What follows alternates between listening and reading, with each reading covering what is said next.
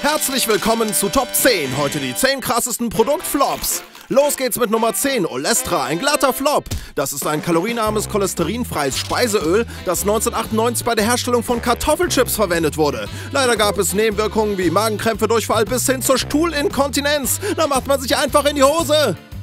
Nummer 9, Joghurt-Shampoo. Schon 1979 wurde dieses Shampoo von der amerikanischen Firma Clairol auf den Markt gebracht mit dem Namen Touch of Joghurt. Doch leider haben einige dumme Amis das Joghurt-Shampoo gegessen und sind davon krank geworden. Also verschwand das Produkt schon bald wieder aus den Regalen.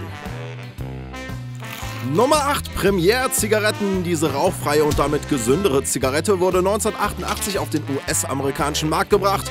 Die Entwicklung soll mehr als eine Milliarde Dollar gekostet haben. Offensichtlich hat sie wohl nach verbranntem Müll geschmeckt und so hat sie sich nicht gut verkauft. Nach einem Jahr wurde sie vom Markt genommen. Und die Nummer 7, Apple Maps. Mit der eigenen Karten-App von Apple gab es zum Release 2012 einige Probleme. Zum Beispiel fehlte einfach Shakespeares Geburtsort und die Hauptstadt der Ukraine wurde falsch buchstabiert. Nach der Veröffentlichung empfahl der Apple-CEO, also der Nachfolger von ihm hier, andere Kartenanbieter zu benutzen.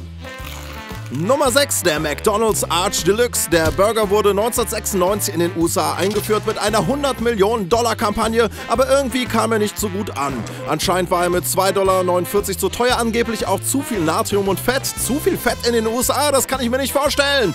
Und die Nummer 5, New Coke. Coca-Cola hat tatsächlich 1985 in den USA sein Rezept verändert. Obwohl das Ganze zuvor ausgiebig getestet wurde, gab es 400.000 Beschwerden bei der Markteinführung. So ging es nach 79 Tagen zurück zum alten Rezept. Ich schätze mal, sie werden das Rezept so schnell nicht wieder ändern. Nummer 4, Celery Jello. Jello ist so eine amerikanische Gelatinemarke für Nachtische, wie zum Beispiel Wackelpudding. Man kennt ja Sorten wie Waldmeister oder Kirsche, doch die Firma hat in den 60ern eine Sorte mit Gemüsegeschmack rausgebracht. Es wurde so entwickelt, dass man es anstelle von echtem Gemüse benutzen kann, leider ohne Erfolg. Nummer 3, Big Unterwäsche. Der bekannte Hersteller von Feuerzeugen und Kugelschreibern hat sich gedacht, warum nicht auch gleich Unterwäsche anbieten und man entwickelte das Konzept einer Einwegunterwäsche. Leider wollte die niemand tragen und so verschwand die Unterwäsche langsam. Die zieht sich ja auch langsam aus. Nummer 2, Rasendarts. 1980 kam ein Spiel auf den Markt, wo man gigantische Dartpfeile in den Boden werfen musste. Es wurde dann 88 in den USA vom Markt genommen, nachdem drei Menschen von den Dartpfeilen getötet wurden. Also bitte, wenn jemand wirft, muss man doch aus der Schusslinie gehen.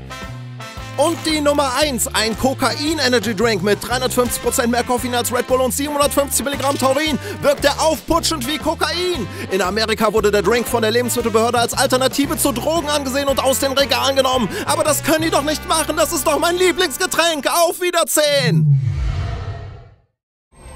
Danke fürs Zuschauen. Das Abo ist natürlich kostenlos. Links gibt's den letzten Top 10 Clip und du solltest unbedingt bei Achtung Promis vorbeischauen und abonnieren, denn da gibt's auch interessante Toplisten mit mir. Danke und auf Wiedersehen.